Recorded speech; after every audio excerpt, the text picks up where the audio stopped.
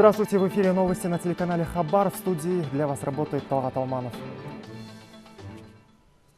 По меньшей мере два человека погибли в результате мощного наводнения в американском штате Кентукки. Шестеро считаются пропавшими без вести.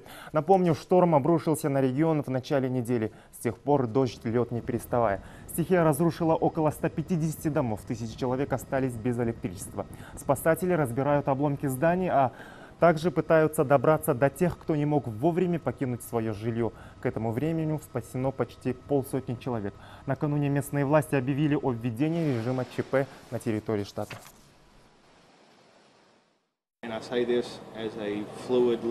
Мы не можем назвать точное число пропавших. Этот список постоянно меняется. Пока мы спасаем одного, получаем сообщение о пропаже еще двух. Количество жертв может измениться даже до того, как я сообщу об этом в командный пункт. Тбилиси прогремел взрыв в квартире многоэтажного жилого дома. Погибли пять человек, еще четверо получили различные травмы. Сообщается, что ЧП произошло из-за утечки, утечки газа. В здании разрушены несколько стен и выбиты стекла. На, место, на месте происшествия работают специалисты и сотрудники чрезвычайных служб. Несколько десятков семей эвакуировали и временно разместили в гостиницах города. Э, подписание ядерного соглашения стало праздником для жителей Ирана.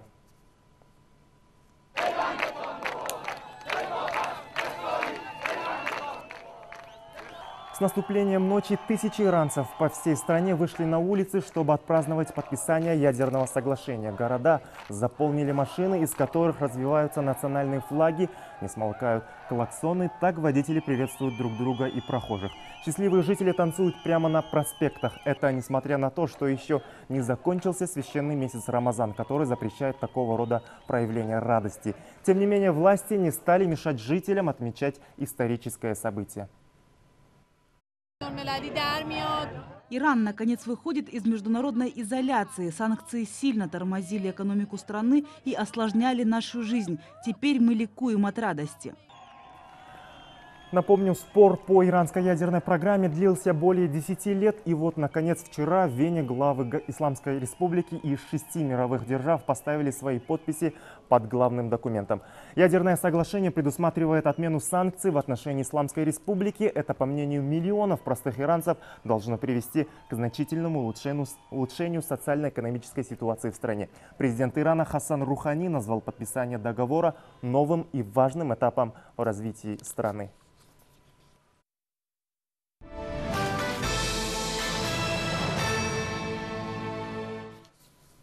В западном регионе страны появилась первая перепелиная ферма. В последние годы потребительский спрос на перепелиное мясо и яйца заметно вырос уже. Сейчас продукцию закупают крупные торговые сети Ахтубе и других городов западного Казахстана.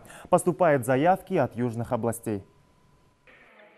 Армен Абрамян не первый год занимается производством диетического мяса и яиц. Начинал с малого, завез несколько десятков перепелок, чтобы продавать экологически чистое мясо в собственном ресторане. За короткий срок перепелиное мясо стало настолько популярным, а поголовье птицы так выросло, что излишки решили продавать в магазинах. Сегодня на типовой перепелиной ферме действует одна линия. Это 8 тысяч несушек, каждая из которых в день дает по одному яйцу.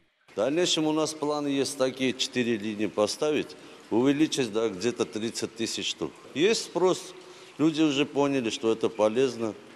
И мясо диетически очень вкусное, нежное мясо. Предприниматель обеспечивает диетическим продуктом весь западный регион, а в последнее время заказы начали поступать даже с южных областей.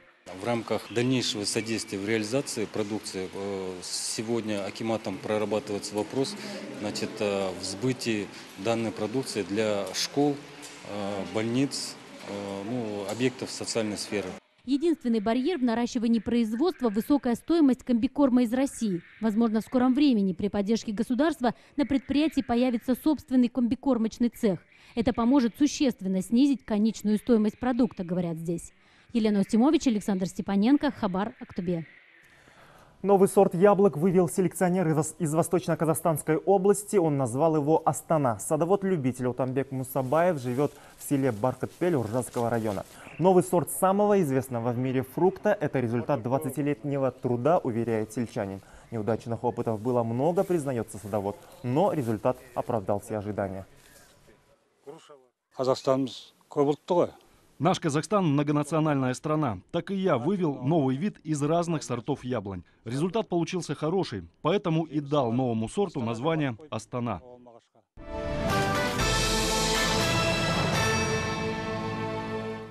Парламент уходит на каникулы. В эти минуты проходит итоговое совместное заседание Мажилиса и Сената. Ходить на работу, проводить заседания рабочих групп и участвовать в принятии законов народные избранники не будут вплоть до начала сентября.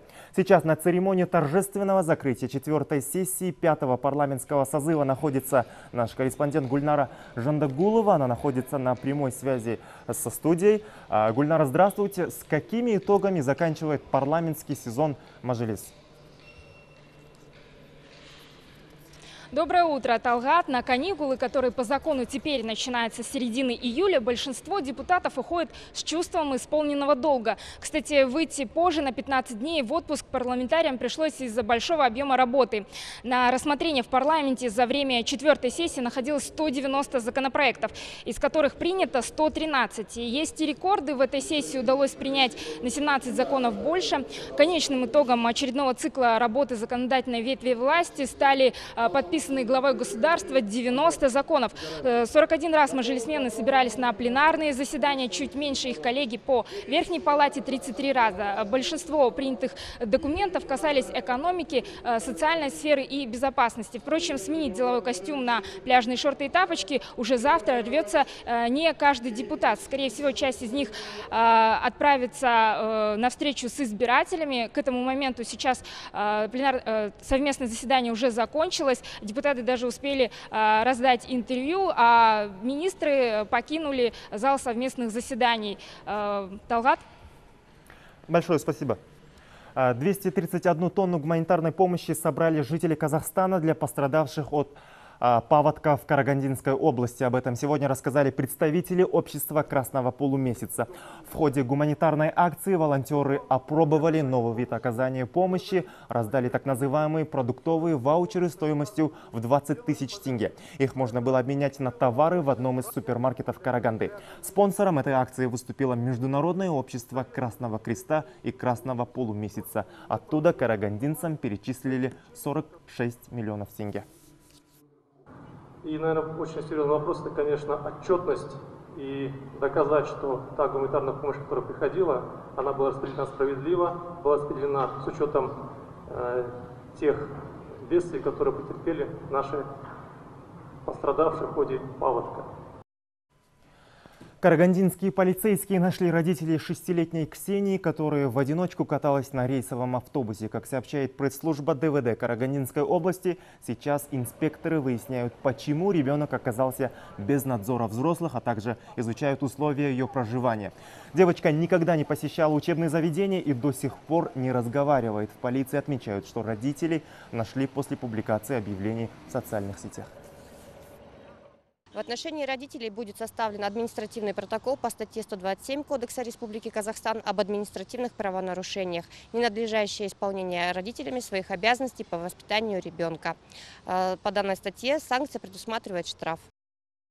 Все больше актаусских ребят хотят заниматься парусным спортом. Такую тенденцию отмечают тренеры детской спортивной юношеской школы парусного спорта. Она базируется на Каспии. За этот год в учебное заведение записались более полусотни ребят. Причем новички уже делают успехи на морской арене и побеждают на различных чемпионатах. О том, как стать юным капитаном, разбираться в классе лодок и уметь управлять своим маленьким судном, расскажет Тамара Степанова.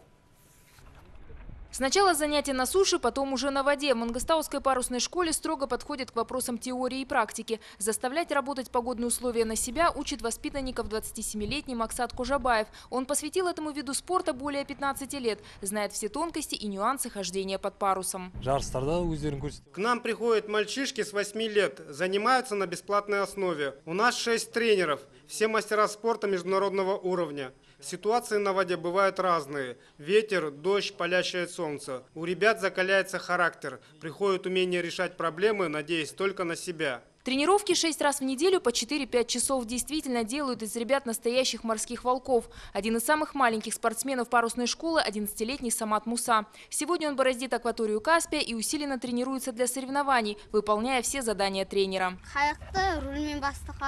Два года назад мои друзья покатали меня на такой лодке, и я влюбился в этот спорт. Сегодня я сам яхтсмен. Когда сильный ветер, то мой парусник может развить большую скорость. Конечно, можно перевернуться и упасть в море, но это не страшно. Мы же умеем плавать и носим жилеты. Парусной школе уже 23 года. Сегодня она объединяет около 300 ребят. И с каждым годом количество желающих учиться здесь только растет. Радуют и успехи юных чемпионов. К примеру, недавно с чемпионата Казахстана ребята привезли сразу 4 золотые медали. А на соревнованиях в Узбекистане заняли второе общекомандное место. Проходят чемпионаты Катара, э, Кубка Короля.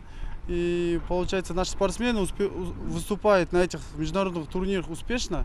Из-за того, что они вот здесь, на нашем море, э, про, проходят колоссальную школу и практику. Вот благодаря этому нашему морю Каспийскому, что она постоянно штормит, для нашей школы это плюс, большой плюс. В школе имеется около 100 лодок разного класса для всех возрастных категорий. В планах Каната Мангубаева еще больше улучшить ее материально-техническую базу.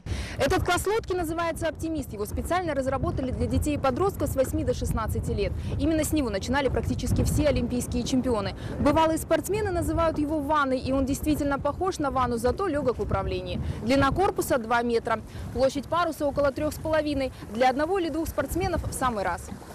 Осенью спортсмены поедут отстаивать честь Казахстана на чемпионат в Катаре. А уже в следующем году руководство школы планирует провести международные соревнования по парусному спорту на Каспии. Тамара Степанова, Ренат Дусалиев, Хабар, Мангостауская область.